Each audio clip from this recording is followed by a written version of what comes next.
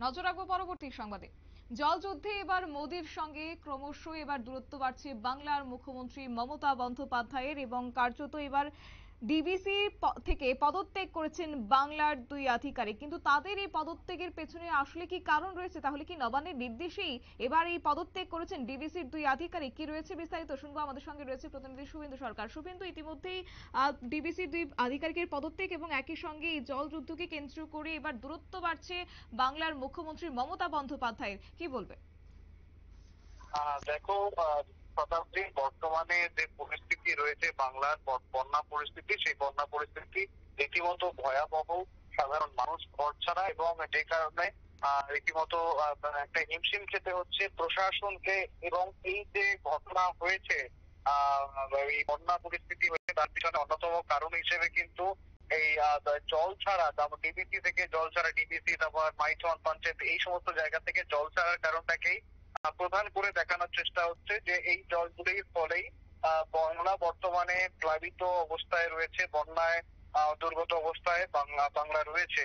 এবং এই ক্ষেত্রে যথেষ্ট একটা কেন্দ্র, রাজ্য, একটা তরজা যথেষ্ট দানা বাঁধছে এবং আমরা দেখো স্বাভাবিকভাবেই জানি মমতা ব্যানার্জি এবং মোদীর মধ্যে একটা বিশ্ব রাজনৈতিক ফারাক রয়েছে এবং তাদের যে রাজনৈতিক যুদ্ধ তা রীতিমতো নজর কাড়া বা সেক্ষেত্রে এই দাঁড়িয়ে, সেক্ষেত্রে যদি দাঁড়িয়ে আমরা দেখি যে এই বন্যা পরিস্থিতির পরে কিন্তু মমতা ব্যানার্জি চিঠি লিখেছিলেন তোমার মোদীর কাছে প্রধানমন্ত্রীর কাছে চিঠি লিখেছিলেন এবং সম্প্রতি তিনি আবারও চিঠি লেখেন এই দু একদিনের মধ্যে তিনি আবারও চিঠি লেখেন এবং সেক্ষেত্রে কিন্তু এই দামোদর ভ্যালি ডিবিসি থেকে জল ছাড়ার বিষয়টিকে উল্লেখ করেন। এছাড়াও দেখো, ঝাড়খণ্ড বা বিহার বা ওড়িশা এদের সঙ্গে কিন্তু একটা মতবিরোধ রয়েছে। বাংলার মুখ্যমন্ত্রীর কিন্তু একটা মতবিরোধ রয়েছে এই জল নিয়ন্ত্রণ নিয়ে।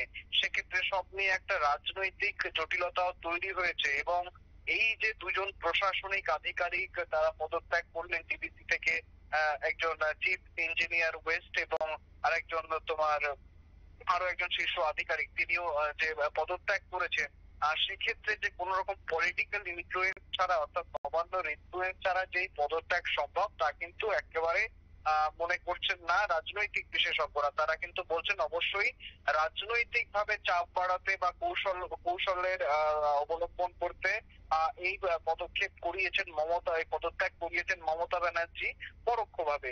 যে কারণে যে যাতে কেন্দ্রের উপর চাপ বাড়ে এবং এবং যারা পদত্যাগ করেছেন তারা কিন্তু চিফ ইঞ্জিনিয়ার যার কথা আমি জানাচ্ছিলাম, তিনি কিন্তু স্পষ্টত উল্লেখ করেছেন, এই ডিবিসি থেকে জল ছাড়ার বিষয়টা একেবারে কোনো প্ল্যানিং ছিল না বা একেবারে কি বলব, একটা অরাজক, একটা অনিয়মিত পরিস্থিতিতে বা কোন রকম পূর্ব পরিকল্পনা ছাড়াই এই ধরনের জল ছাড়া হয়েছে বা এরকম ভাবে পরিকল্পনা নিয়েছে ডিবিসি যে কারণে আজকের এই পরিস্থিতি এমনটা কিন্তু দোষারোপ করে তারা পদত্যাগ করেছেন। অর্থাৎ এক্ষেত্রে কেন্দ্রের উপর চাপ বাড়ানোর জন্য পাশাপাশি রাজ্য, বন্ধু রাজ্য, ঝাড়খণ্ড রয়েছে পাশাপাশি বিহার রয়েছে। এইগুলোর উপরেও চাপ কিন্তু বাড়ছে রাজনৈতিক ভাবে অর্থাৎ এই সমস্ত বিষয় নিয়ে তোমার বর্তমানে যে চাপানুতর রয়েছে, সেই যদিও চাপানুতরটা কিন্তু আরও বাড়ছে, রাজনৈতিক চাপানুতর। যদিও রাজনৈতিক মহলের একাংশ কিন্তু মনে করছে যে বাংলার বর্তমানে যে পরিস্থিতি রয়েছে, যেমন ঘাটাল প্রায় জলের তলায়, ঘাটালের যে যেহেতু এগুলো নদীগুলোবর্তী এই এই সমস্ত অঞ্চলে যেহেতু বন্যা বা জল ওঠা খুবই স্বাভাবিক বা এর আগেও উঠেছে, সেক্ষেত্রে কিন্তু যারা তৃণমূল সাংসদ, ঘাটালের তৃণমূল সাংসদ দেব তারা ঘাটালের মাস্টার প্ল্যান তৈরি করেছিলেন এবং তাদের দাবি ছিল এই ধরনের সমস্যা থেকে পরিত্রাণ পাবে ঘাটাল। তারপরেও কিন্তু সে সমস্ত কিছুই হয়নি, বাস্তবায়িত ঘাটাল সেই জলের তলায়। এবং এই সমস্ত ব্যর্থতা লুকানোর জন্য, ব্যর্থতা ঢাকার জন্যই মমতা ব্যানার্জিকে এইভাবে ডাইভার্ট করার জন্য, একটা পলিটিক্যাল ডাইভার্ট করার জন্য এইভাবে কেন্দ্রের উপর চাপ বাড়াচ্ছে, সে নিয়েও কিন্তু প্রশ্ন উঠছে রাজনৈতিক মহলে। তবে সব মিলিয়ে বলা যায় আর বর্তমানে বাংলার যে পরিস্থিতি রয়েছে, তাতে অবশ্যই ডিবিসির এইভাবে অনিয়ন্ত্রিত জল ছাড়া একটা কারণ একটা কারণ অবশ্যই। কিন্তু তার পরবর্তীতে এই যে রাজনৈতিক চাপানোতর হচ্ছে, তাতে করে সাধারণ মানুষের স্বার্থ আখেরে অবহেলিত হচ্ছে। কারণ সাধারণ মানুষ রীতিমতো সে তারা ঘর ছাড়া, তারা রীতিমতো তাদের শরণার্থী শিবিরে দিন কাটাতে হচ্ছে এবং অনেকেই অনেক কিছু হারিয়েছেন, সর্বস্ব হারিয়েছেন। তাদের কথা, তাদের দিকে জোর না দিয়ে এই রাজনৈতিক চাপানোতর যত বাড়ছে, তত করে কিন্তু আখেরে বাংলারই ক্ষতি হচ্ছে।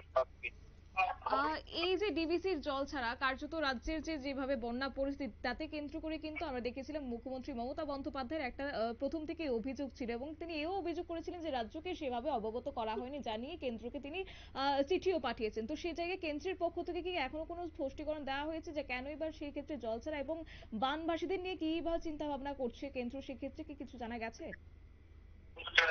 দেখো, কেন্দ্রের তরফ থেকে কিন্তু এখনও সেভাবে কিছু জানানো হয়নি এবং কি টিবিসি কমিটি থেকেও প্রতিনিধি তুলে নিয়েছেন মমতা।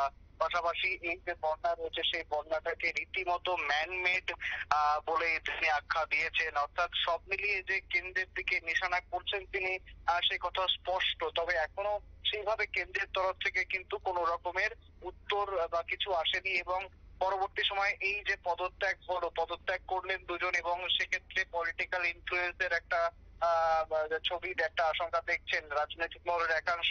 আর সেক্ষেত্রে কিন্তু এই যে গোটা ব্যাপারটা রয়েছে গোটা ব্যাপারটা নিয়ে কেন্দ্রের উপর চাপ বাড়ছে বলেই মনে করছেন বিশেষজ্ঞরা শতাব্দী ঠিক তাই। ধন্যবাদ শুভেন্দু।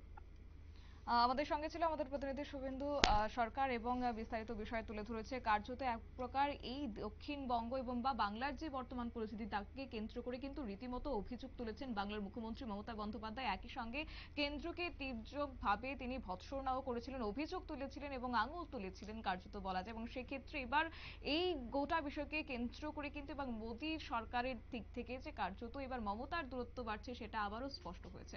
নিয়ে নিচ্ছি ছোট্ট একটি বিজ্ঞাপন বিরতির সঙ্গে থাকুন।